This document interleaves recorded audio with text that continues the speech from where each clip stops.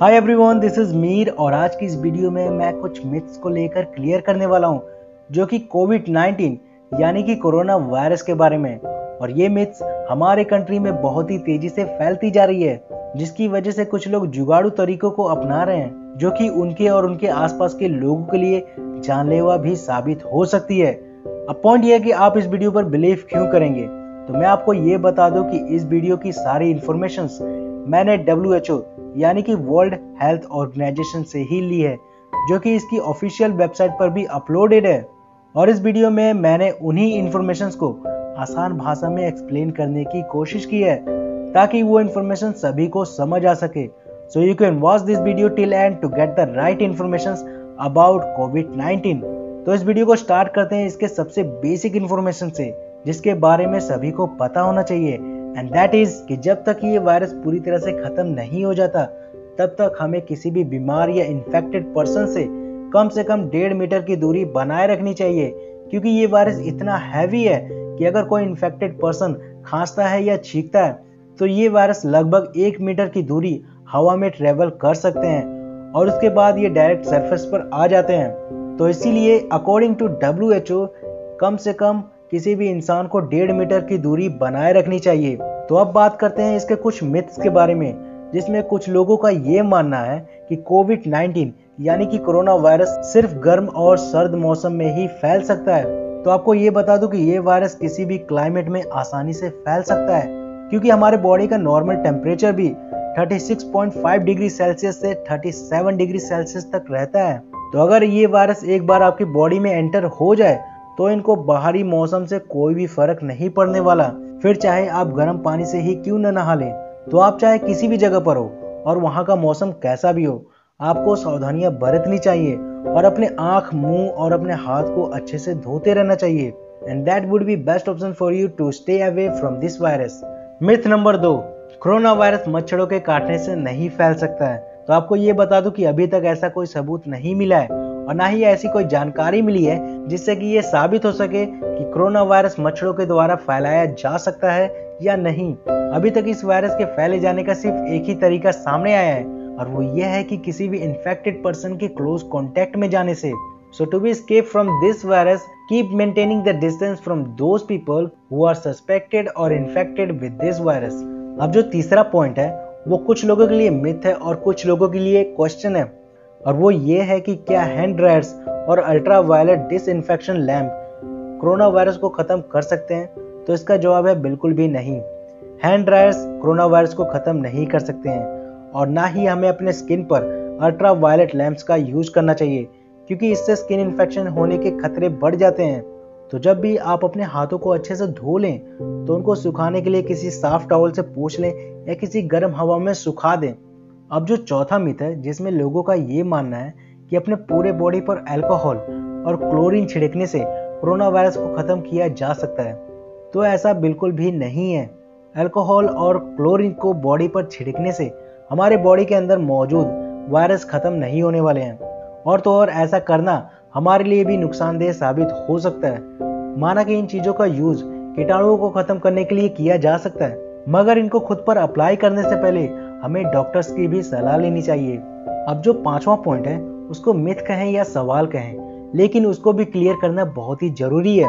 और वो ये है कि क्या निमोनिया की दवाइयाँ लेने से, या एचआईबी की दवाइयाँ लेने से, या फिर एंटीबायोटिक लेने से कोरोना वायरस को रोका जा सकता है? तो आपको ये बता दूँ कि निमोनिया और एचआईबी की दवाइयाँ कोरोना वायरस के अगेंस्ट बिल्कुल भी वर्क नहीं करने वाली, और ना ही एंटीबायोटिक्स इस पर वर्क करेगी, क्योंकि एंटीबायोटिक्स बैक्टीरिया के लिए होता है, ना कि वायरस के लिए। और ये वायरस इतना नया है कि इसको ठीक करने के लिए इसके लिए एक अलग दवाई का होना बहुत ही ज़रूरी है, जिसके ऊपर अभी भी काम किया जा रहा है। सो किसी भी मेडिसिन को लेने से पहले डॉक्टर की सलाह ज़रूर लें। मिथ नंबर सिक्स क्या लहसुन खाने से कोरोना वायरस को रोका जा सकता है? तो आपको ये जान लेना चाहिए कि लहसुन, यानी कि गार्लिक हमारी हेल्थ के लिए एक बहुत ही अच्छा ऑप्शन है।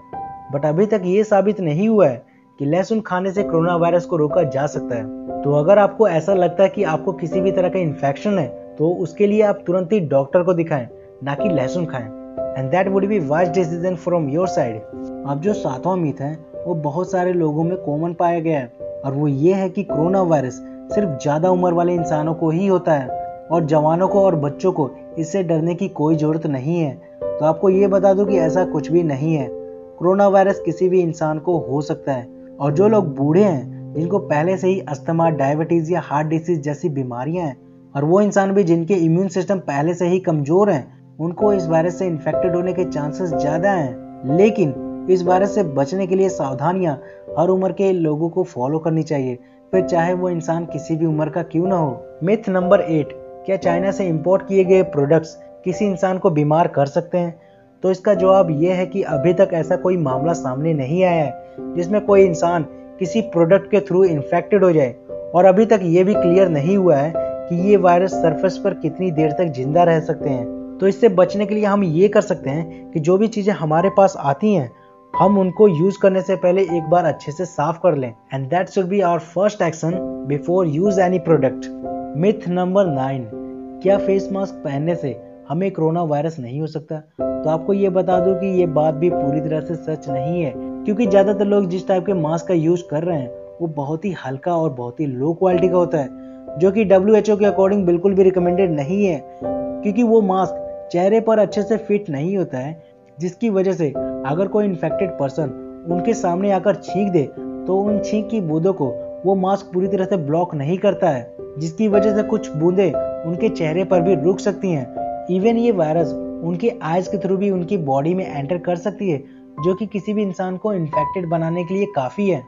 तो इस वायरस से बचने के लिए हमें सिर्फ़ वही मास्क पहनना चाहिए, जो कि चेहरे पर अच्छे से फिट हो और किसी भी ड्रॉपलेट्स को आसानी से ब्लॉक कर सके, जो कि आपको किसी भी मेडिकल स्टोर पर मिल सकती है। और जो इंसान किसी भी तरह के इन्फेक्शन से इन्फेक्टेड है, उनको तो ये मास्क ज़रूर पहनना चाहिए, ताकि उनके बॉडी में जो वायरस है वो किसी दूसरे तक ट्रेवल ना कर सके और उनके छींक के ड्रॉपलेट्स को उनके मास्क तक ही सीमित रखे। तो इसीलिए हर किसी को सिर्फ़ वही मास्क पहनना चाहिए जो कि डॉक्टर के द्वारा रिकमेंडेड हो, जो कि आपको मेडिकल स्टोर पर मिल सकती है। अब दसवां नंबर कोई मिथ नहीं, बल्कि एक सजेशन है। और वो ये है कि अभी तक इस वायरस का कोई एग्जैक्ट इलाज नहीं मिला है तो इससे बचने के लिए हर किसी को खुद से ही कुछ सावधानियों को बरतने की ज़रूरत है, जैसे कि अपने हाथ और अपने फेस को। अच्छे से दिन में तीन से पाँच बार धोते रहें और किसी भी अल्कोहलिक बेस्ड सैनिटाइजर का यूज़ करें, जिसमें अल्कोहल की मात्रा लगभग 60 से 70 परसेंट तक होनी चाहिए। और अगर आपको ऐसा लगे कि आपके आसपास में कोई इंसान या आप खुद किसी भी तरह के इन्फेक्शन के कॉन्टेक्ट में आते हैं तो तुरंत डॉक्टर को ज़रूर दिखाएँ, क्योंकि एक सही फैसला आपकी और आपके आसपास के लोगों की जान बचा सकता है। तो इस वीडियो में बस इतना ही। तो अगर आपको ये वीडियो पसंद आए तो इस वीडियो को आप लाइक करें या ना करें बट इन इन्फॉर्मेशन को जहाँ तक हो सके वहाँ तक शेयर ज़रूर करें।